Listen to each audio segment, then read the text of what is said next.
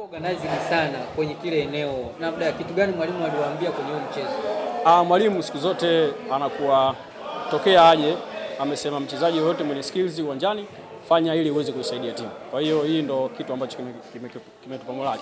Mechi ya tano mfululizo mnashinda hii, labda mlivyojipanga, mechi chache sana zimebakia, kama sikosei ni mbili uh, tatu. Kitu gani sasa uh, mnafikiria sasa mbele yenu?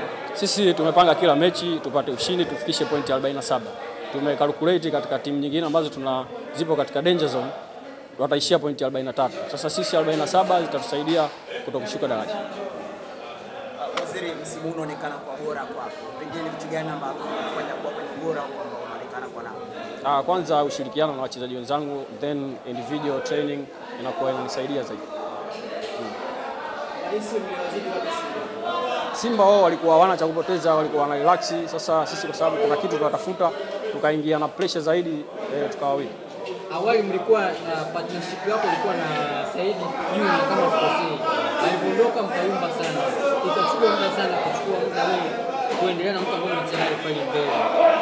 Kitu gani labda mwalimu alikuelekeza wewe mwenyewe kuondoka kwa Juni uliathirika vipi mpaka kuimarika?